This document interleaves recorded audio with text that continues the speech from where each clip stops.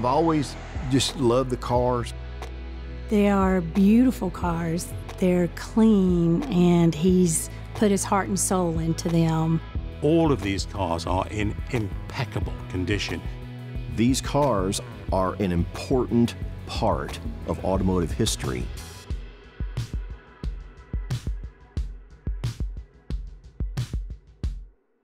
Well, when I was a kid, my dad had a little shop over on the west side of Charlotte, and he would go to the salvage sales and he'd buy Datsun Z.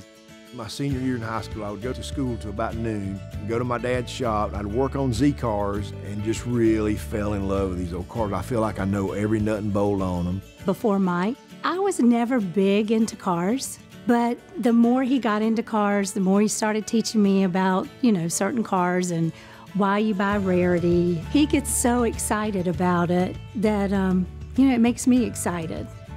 There is one holy grail in the Z car collecting, and that is a Fairlady 432. The car originally called Fairlady because the uh, uh, management from Nissan Datsun went to see My Fair Lady and thought this is a cool name, let's call our car that.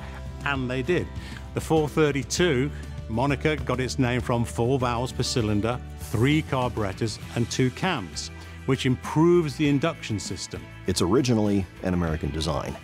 The head of Nissan USA decided that they needed a worthy successor to the 1600 series, to the 2000 series that had been so very successful for them. And so they started making clay models. And when they made the clay models, they made them around the S20 engine, which was the product of a merger between a company called Prince and Nissan.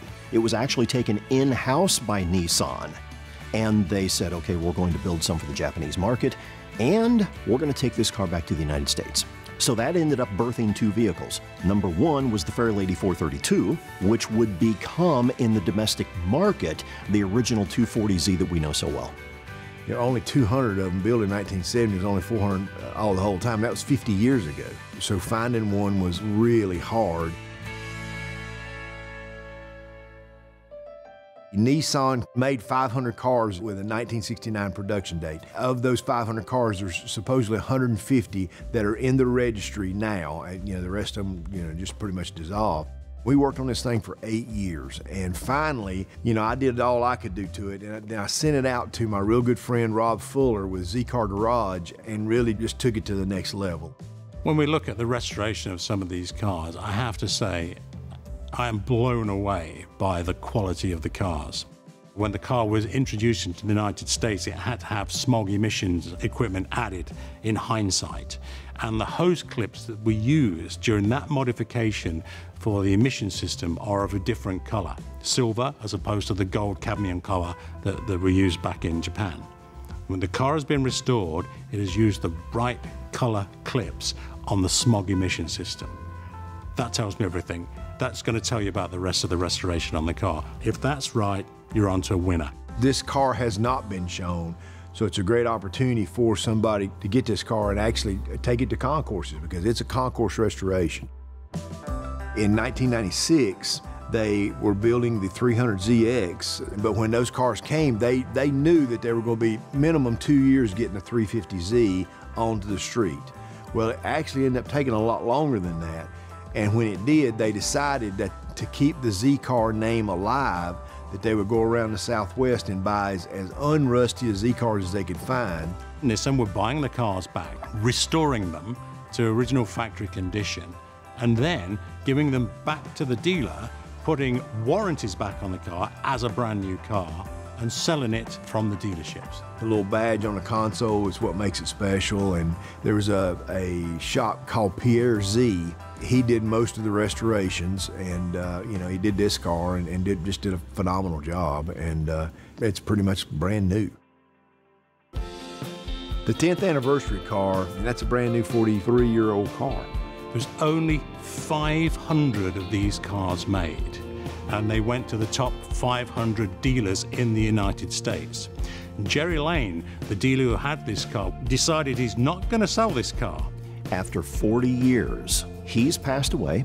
The car is in his son's hands. And he says, look, you know, we've, we've enjoyed it. We've preserved this history.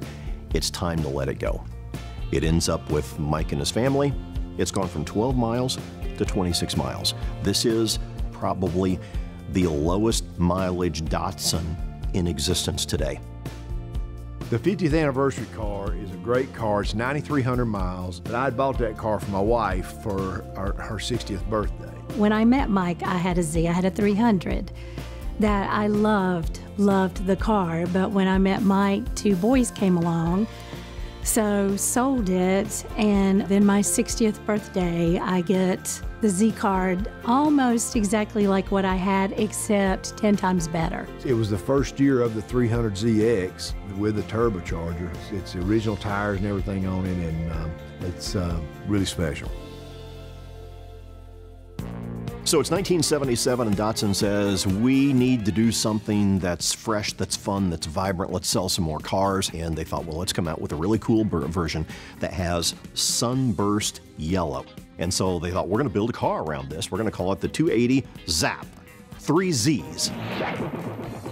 It's a cool car. The guys that did the restoration on it did a really, really nice job.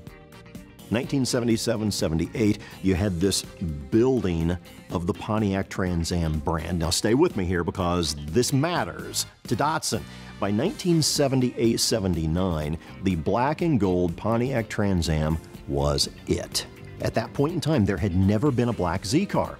And in 1978, they came out with a car called the Black Pearl. It's got the original paint, it's got the original stripes on it. That striping kit is really hard to come by, and no, nobody can seem to do it exactly right. But it won best uh, 280Z at ZCon a few years ago in Atlanta. It's, it's been a great car. Some people would say that with the 280ZX, they really got away from their original intent. And some people don't like them, but you got to remember they built the car for a different purpose. This was no longer just intended to be a small sports car in the truest sense. This was now a grand touring machine. That is one of my favorite cars because I, I number one, I love the wheels on that car. Those turbine looking wheels. I mean, to me, that, that was the best wheel that they ever made. This car I found down in Miami it's a 30 some thousand original mile car, uh, mostly original paint. I don't think that we couldn't find any tape marks or anything on it to where it had been painted. And that, that was the last year of the 280. You know, they went to the, the 83 280, then the 84 300. It's a really cool car. The cars are in phenomenal condition. And what Mike and Debbie have done with their cars is truly phenomenal. I can't praise this collection enough. I love it because of its rarity, it speaks for itself. What this collection has really got going for it is it really kind of takes it from the start in 1969 and goes through the first four iterations of the car. If you're looking to start your own collection, enhance what you have, you know, these are great cars to do that with. He has a lot to do in here, and that's some of the problem now. It's he's one person, and there's a lot of cars there's not enough time in the day sometimes to treat them and drive them like he wants to. It's been fun, you know, and, and we just, you know, we're just ready to do some other stuff, and that's the only reason we're, we're willing to turn loose some. I, have I've done well with Mecum. We, we bought a bunch of cars from Mecum. I just knew they would do a great job. It's time for another proprietor to have them for a while, and, uh, and he'll be just as proud of them as I am.